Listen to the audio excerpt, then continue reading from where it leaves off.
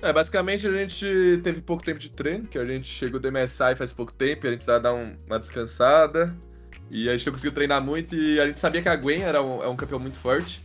Só que a gente sabia que a gente conseguiria lidar com ela. Uh, só que o Viego, pra ser sincero, a gente não tinha treinado contra muitos jogadores de Viego. E jogo, os jogos que a gente jogou contra, a gente não viu nada demais, mas no jogo de hoje ele mostrou que é um campeão roubadaço, roubadaço. E acho que foi mais falta de experiência mesmo contra, contra os campeões. Acho que a gente não tinha uh, muita ideia do que eles faziam certinho e tal. E tirar de lição esse jogo, porque acho que a gente aprendeu agora. Aprendeu da pior forma, mas aprendeu. Cara, acho que coletivamente a gente tá bem. A gente é um time bem forte coletivamente, mas uh, talvez essas questões de picks, de draft, podem ter atrapalhado um pouco, porque a gente não tem tanta experiência mesmo jogando contra esses campeões novos. Até porque o patch que a gente estava jogando no MSI uh, ah, não tinha esses campeões, então. Uh, e bastante, a galera que já tá treinando há bastante tempo. E eles já, já entendem bem esses campeões, enquanto a gente tá um pouco atrás nesse quesito. E também mudou um pouquinho a jungle do patch que a gente tava jogando para esse, então. Uh, foi um pouco ruim sim a gente ter pouco treino, mas acho que a gente tira como lição agora, e principalmente esse jogo, acho que deu para entender bastante o Viego e a Gwen, principalmente o Viego, acho que a Gwen já tinha um entendimento um pouco maior. E agora é focar para próximos jogos aí para ver o que a gente faz, se a gente vai utilizar, se a gente não vai e o que, que a gente vai planejar aí contra isso. Eu acho que não vai afetar tanto, para ser sincero. A gente tem a mentalidade que a gente não tá no nosso 100% ainda. A gente uh, treinou bem pouco mesmo. E a gente sabe que o começo do campeonato uh, não, não é que não é tão importante, mas ele não é uma, o que define o campeonato. A gente começou bem mal o primeiro split e foi evoluindo durante o campeonato. Eu acho que isso que é o principal no, no, no, nesse formato do CBLOL, é você ter uma evolução a longo prazo. E, sinceramente, a gente sabe, a gente sabe que a gente não tá no nosso 100% nessa primeira semana, mas a gente tá dando o nosso máximo do que a gente consegue agora.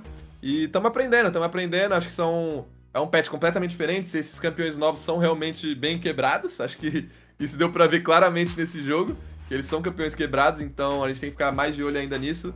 E é aprender, a gente aprendeu agora desses campeões, por exemplo, vamos assistir, vamos aprender mais. E a gente vai ver o que a gente faz. O que importa na minha visão e na visão do time é a evolução mesmo. Acho que não importa se a gente sair 2-0 esse final de semana, primeira semana, ou 0-2. Se a gente evoluir durante o campeonato é o que importa. Então uh, a gente está aí focado a, a longo prazo mesmo. A gente sabe que a gente não está no nosso 100% nessa semana. Cara, eu praticamente confio bastante na, na, nossa adaptação. Eu não me surpreenderia da gente aparecer amanhã já jogando de Gwen, já jogando de Viego. Uh, acho que a gente tem jogadores muito bons, a gente realmente só não, não tinha entendido a força, principalmente do Viego, como eu disse, a Gwen ele já estava esperando e já conhecia um pouco o campeão, mas o Viego, mídia e tanque foi uma coisa que pegou a gente de surpresa realmente. E eu não duvido da gente aparecer amanhã jogando, ou talvez banir, não sei o que a gente vai fazer, mas realmente é, é, é difícil.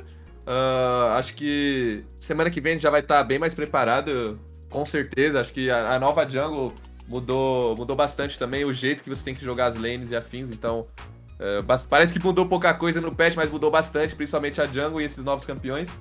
Mas acho que a gente consegue lidar assim, a gente tem jogadores que conseguem se adaptar fácil, então não me surpreenderia, surpreenderia de amanhã a gente aparecer aí jogando com o Viego, com a Gwen.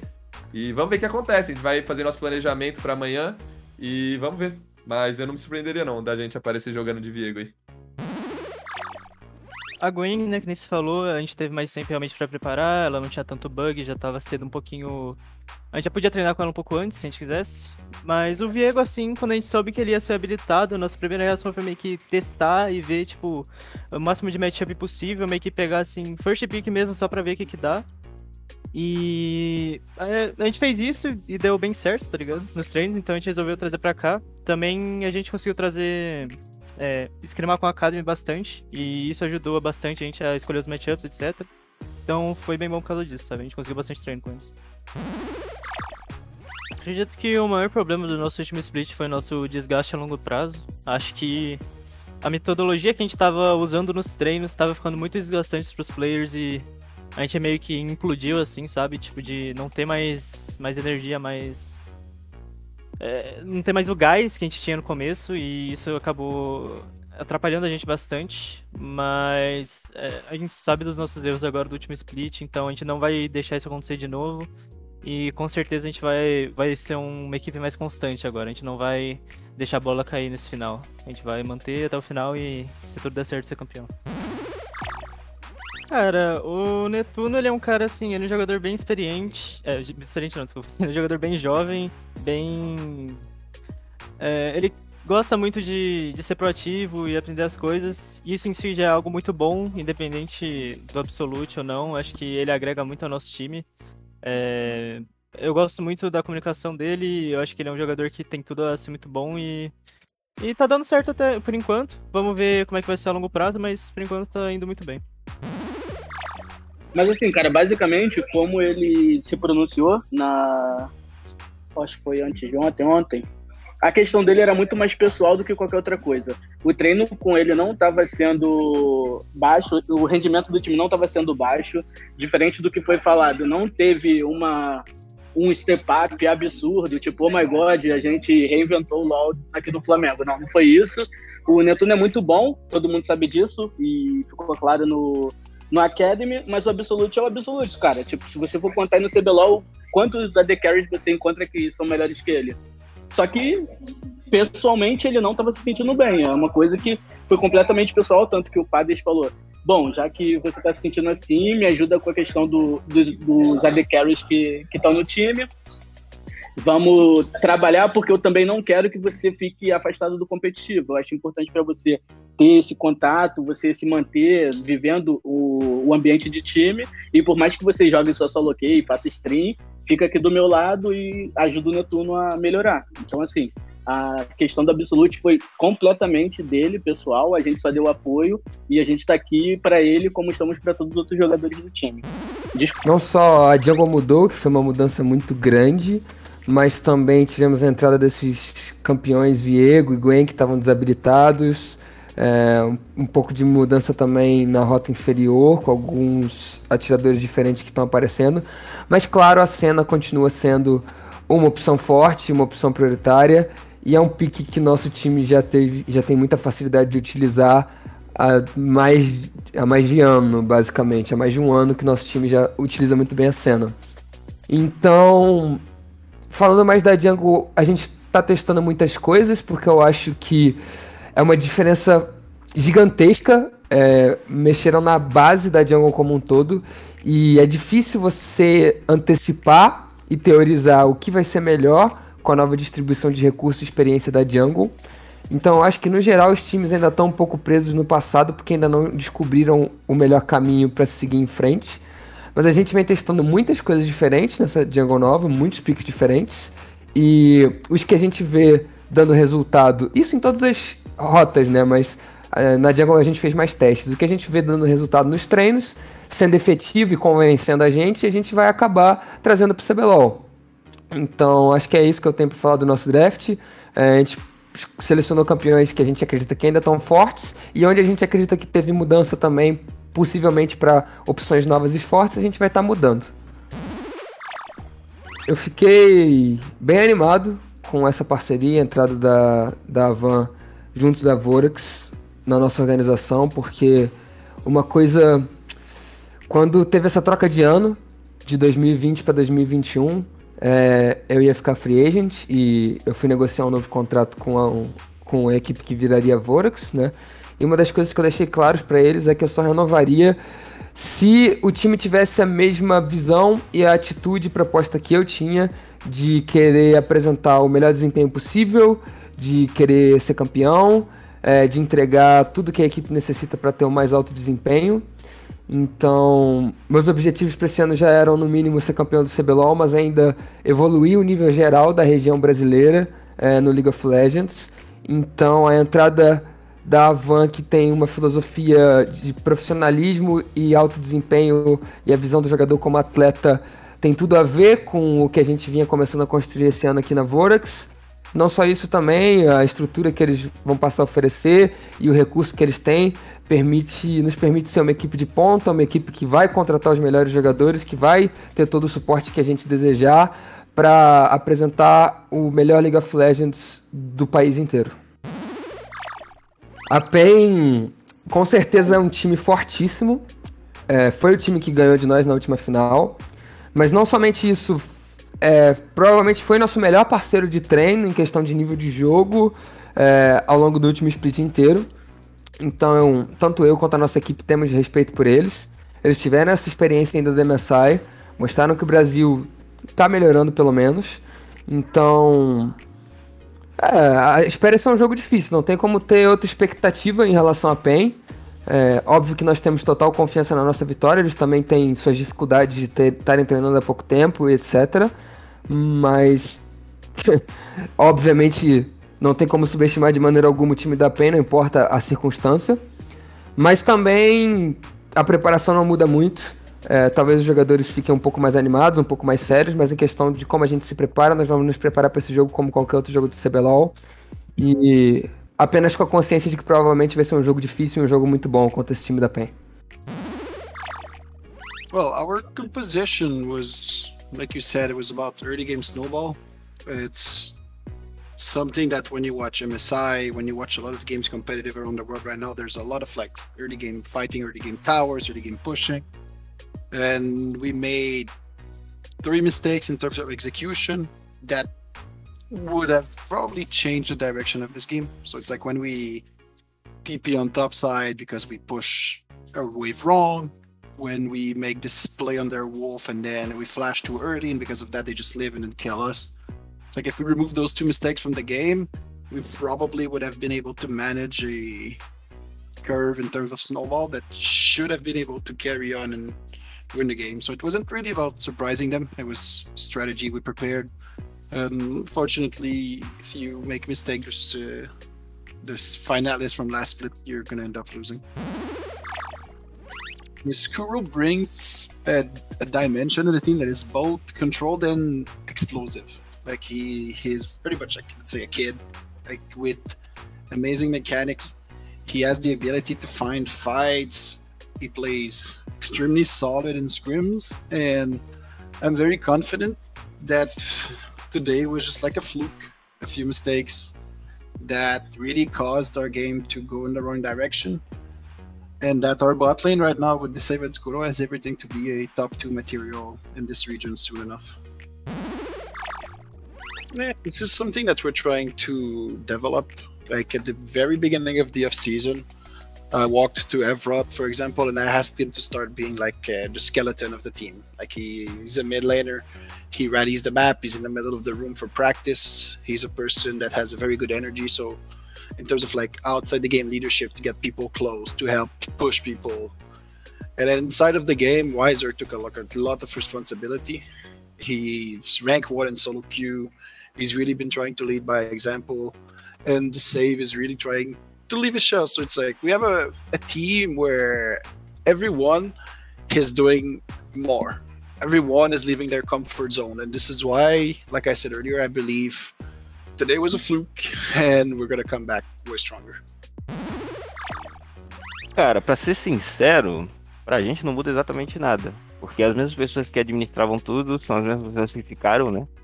É, não mudou exatamente nada, nada, era só o nome da marca. A única coisa legal que tem é que é uma marca nova e é, pode acariciar pessoas novas também, ter um novo modo de tratar com o público e tudo mais.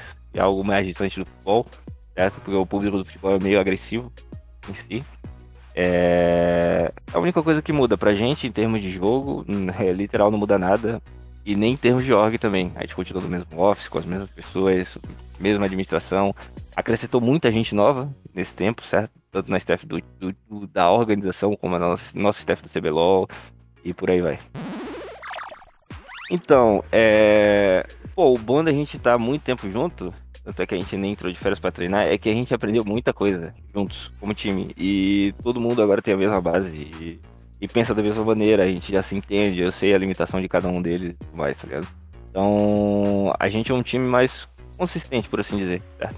Uma proposta meio conservadora, só que uma proposta também é, que, que apostou na evolução individual e no grupo de, de, de, de todos, no caso.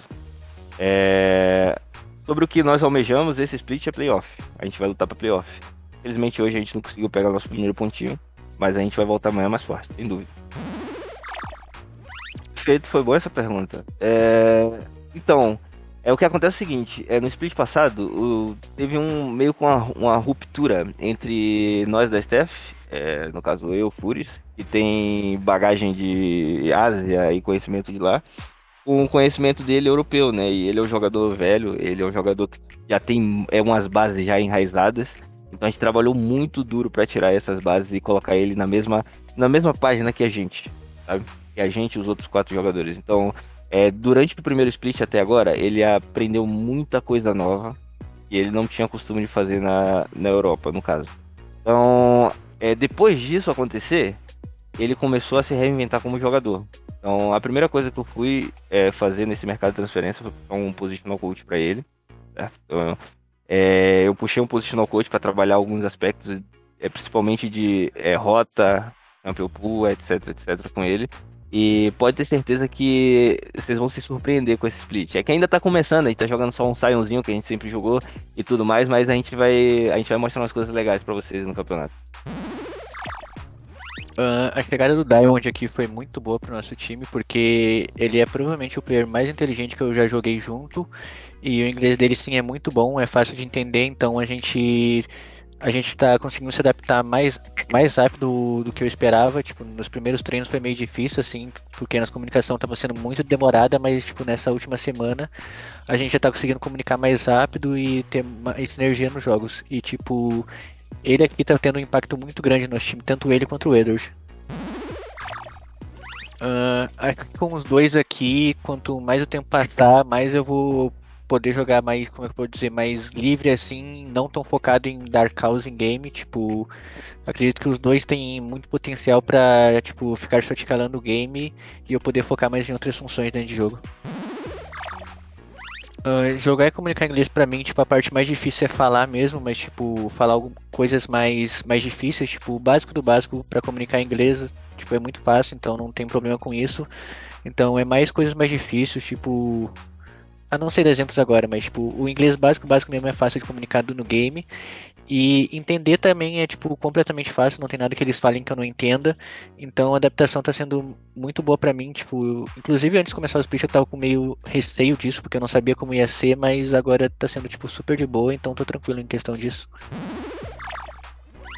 Uh, o Joker tá agregando bastante coisa pro nosso time, tipo, muita coisa que o Edward está passando para ele, ele tá conseguindo se adaptar muito rápido àquilo e fazer aquilo em game, então ele tá tendo uma função bem impactante no nosso time, até porque o Edward era sup, então ele consegue ajudar muito, muito o Jockster. E a diferença dele do Damage eu acho que é mais questão de experiência. Tipo, o Jockster já competiu há muito mais tempo, ele tem muito mais experiência com o Damage.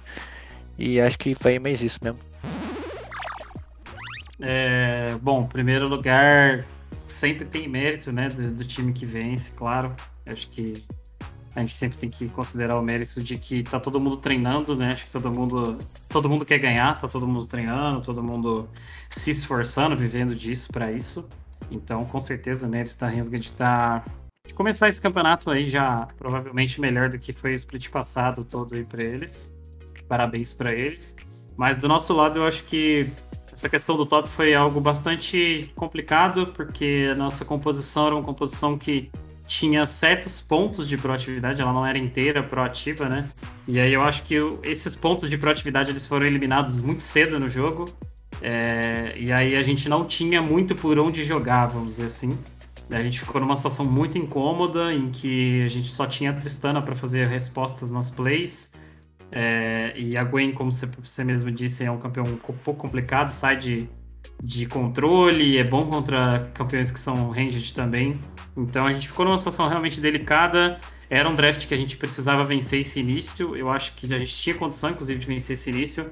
Mas os primeiros 3 minutos, 4 minutos de jogo foram muito ruins da nossa parte. E aí a Rensga puniu de forma apropriada e por isso a gente saiu com um resultado tão ruim. É, eu espero que não. espero que não não demore. A gente já, já vem treinando há um tempo já. A gente já começou antes, já fez as contratações antes, as mudanças antes. Já está treinando há um tempo. Os nossos treinos vêm vindo muito bem, na verdade. É, até comentei no Twitter o quanto que eu tenho gostado de ver esse grupo se desenvolver. E eu espero que a gente consiga transpor isso para o stage o mais rápido possível. É, não dá para a gente ficar esperando muito tempo, né, para ter os resultados que a gente quer. A gente sabe que apesar do, do CBLOL ser um campeonato que dura vários meses, cada ponto é muito valioso, né? Não dá para esperar estar tá com a corda no pescoço. Então, eu, eu espero que não. Espero que a gente mostre o que a gente vem tendo nos treinos já no stage em breve. Tem sido um trabalho bem legal. Eu acho que o House é um cara que eu sempre gostei de, de trabalhar com ele. A gente já teve algumas oportunidades de tra trabalho com ele em, em grupos antigos. Eu acho que para esse grupo, principalmente, é um grupo com bastante cabeça aberta, mente aberta, então é um, é um grupo que ele pode sim vir a, a, se tornar uma grande, uma, uma parte importante desse grupo, né? E, e, ele é um cara que ele tá no momento da carreira dele que ele sabe que ele tem que buscar bastante ajuda, ele sabe que ele precisa de bastante informação para fazer esse role swap. Então é um cara que a gente tem lidado muito bem até agora é um cara que está que tá sendo humilde para aprender, que está caçando informação em todos os lugares, buscando, assistindo, se esforçando. Então, tem sido um trabalho bem bacana até aqui. É, eu sei que hoje ele teve uma infelicidade ali nos primeiros minutos de jogo e isso afetou o jogo inteiro dele. Uh, mas eu, eu tenho certeza que não é, não é isso que ele representa para o time hoje. Então, logo, logo as pessoas vão ver que ele tem muito mais valor do que ele conseguiu mostrar hoje. É, eu acredito que sim. Eu acredito que a gente tem um peso assim, de, de ter que mostrar um resultado melhor. É, acho que pela, pela história do clube, né? Pelo, por tudo que a gente veio, veio fazendo nos últimos anos. É, obviamente a gente perdeu grandes jogadores, mas a gente é, tem tentado fazer essa, essa reposição, né? E todo, eu sei que todo mundo espera, né? O torcedor espera. O, o torcedor brasileiro, de forma geral, espera ver a NTZ figurando entre os, entre os primeiros colocados. E é isso que a gente vem buscando. Acho que a gente fez uma mudança bem grande agora no meio do split, mas, de novo, eu acho que a gente tem que mostrar, sim, que a gente tem melhoras, a gente tem uma comissão técnica super competente, então eu acredito que. Eu espero né, que a gente consiga mostrar essa evolução nos jogadores, mesmo sendo novos, muito em breve. Cara, acho que com certeza, tipo, a gente tá jogando bem mais leve, bem mais solto, a gente tá, tipo, bem mais confiante do que no split passado. Eu acho que a chegada dos coreanos e do Demis foi, foi muito bom pra gente, porque são jogadores muito bons mecanicamente. E os dois coreanos, eles têm uma champion pool muito grande, tipo, eles jogam de tudo praticamente. Então, acho que nosso draft facilita bastante também. E eu acho que a gente tá jogando mais, mais solto mesmo, quando, como você falou, é verdade. Tanto que causa de confiança mesmo. Acho que split passado a gente não, não tava tão confiante assim nos jogos. Depois de, ainda mais depois de tantas derrotas, se eu não me engano, chegou uma época que a gente chegou a perder tipo 6, 7 seguidas, então tava bem abalado. Cara, eu acho que ajudou bastante a gente ter começado a treinar cedo, principalmente por conta de comunicação, porque começar a falar inglês do nada assim é meio difícil, então acho que se a gente tivesse começado em cima da hora, não ia tá tão certo quanto estava hoje. Tipo, acho que hoje já está muito, muito de boa a comunicação. A gente já tem um sistema de comunicação que funciona. Então, eu acho que a gente começar bem cedo a treinar assim foi, foi muito bom.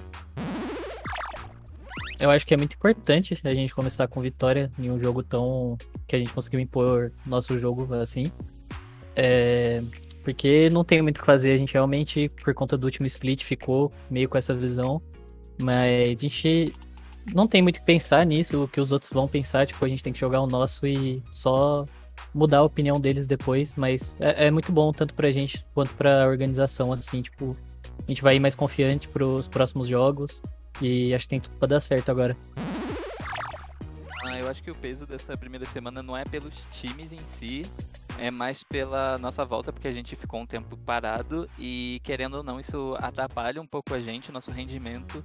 Então a primeira semana geralmente é um pouquinho mais complicada, mas nada que a gente possa resolver. Ah, eu acho que o nosso erro de querer lutar e querer fazer algo é o que vem desde o split passado, que a gente afoba muito com algumas coisas e a gente faz umas plays que não são necessárias naquela hora e a gente acaba entregando muita da nossa vantagem e dificultando o nosso jogo. Ah, eu acho que é mais sobre o jeito que todo mundo aqui funciona, porque todo mundo sempre quer fazer algo, todo mundo tá sempre tentando fazer algo, então às vezes isso passa como uma afobação mesmo, sabe? A gente quer fazer algo, a gente tem que fazer algo, quando necessariamente não é assim. Então é um problema que a gente está tentando resolver. Eu acho que a gente está conseguindo melhorar nisso, mas a gente ainda não chegou no ideal. Todo mundo é muito proativo em determinadas situações, todo mundo sempre está dando uma ideia para fazer algo. Eu tô curtindo bastante esse meta. é, eu acho que é bem mais divertido de jogar do que o meta passado, onde dois junglers com, bonecos extremamente é, sem muita, sem muito, que não precisam de muito treino, muita mecânica, faziam full clear e depois se encontravam no rio e pegavam aronguejos contrários. Então, tipo, eu acho que o jogo era chato e agora eu tô curtindo o jogo porque eu acho que é um jogo mais dinâmico, é um jogo onde você não necessariamente pode fazer full clear, você pode fazer, ou você pode simplesmente gankar ou invadir esse tipo de coisa, então eu acho que isso é bem legal. E os champions foram, que foram é, permitidos agora no competitivo, acho que são bem da hora também pra quem tá jogando e também pra quem tá assistindo. Provavelmente quem tá assistindo sempre quer ver um Viego ou uma Gwen, porque são campeões mecânicos que realmente fazem muitas plays, muito highlights, e eu acho que quem tá assistindo gosta desse tipo de coisa. Então, realmente, pra mim, é um meta muito divertido e bem melhor do que o meta passado. É, realmente a gente não pode deixar acontecer o que aconteceu no split passado. Pra mim, o que a gente mais, mais importante que a gente. A decisão mais importante que a gente tomou pra não deixar isso acontecer é, foi realmente a gente voltar um pouco antes a treinar, um pouco antes dos outros times, um pouco pra gente já ir se acostumando com a rotina de treinos e realmente quando a gente chegasse no campeonato a gente já tá numa rotina boa, ao invés de chegar perto do campeonato e começar, e aí no meio do campeonato você tem que se adaptar e realmente melhorar a rotina. Então, pra mim, isso foi o mais importante. E a gente tá trabalhando bastante pra não deixar o que aconteceu no split passado acontecer de novo, né? Porque é, o que importa, no fim das contas, quando você passa pros playoffs é ganhar. Então, você começar bem o campeonato não é algo tão importante assim, não é algo que vai te dar muita vantagem. A partir do momento que você passa para os playoffs, você vai ter que estar disposto a ganhar de qualquer time. Então, a gente está focando muito mais na nossa evolução como time nesse começo de campeonato do que nas vitórias e no resultado em si. É, primeira, é, essa parte realmente da criação de conteúdo já é algo setado. Tipo, a gente realmente tem toda semana um algum, algum momento por dia, ou às vezes já sim, já não, enfim. Depende da semana e depende dos, dos conteúdos que a gente tá conseguindo gravar. Já setado pra gente realmente fazer isso. Então já é algo que provavelmente não vai atrapalhar a nossa rotina de treino, já que já tá agendado, entendeu?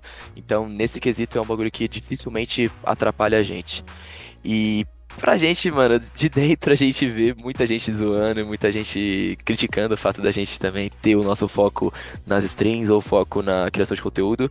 E, mano, eu entendo o lado deles, mas como eu, como eu estou aqui dentro e sei que não é algo que interfere no nosso desempenho, na nossa evolução, eu sei que é algo positivo demais pra gente, tanto a gente como organização, a gente como jogadores.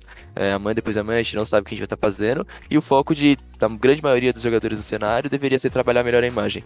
Então eu já passei por momentos onde eu podia ter trabalhado minha imagem muito melhor e não trabalhei, e agora eu não quero deixar isso escapar de novo. Então, com a ajuda da Loud e com a ajuda do meu time, que o fato da gente criar conteúdo junto também faz a gente se unir muito, é, eu espero que a gente continue crescendo como time e também crescendo no nosso conteúdo e dando risada de quem fica pesando na nossa.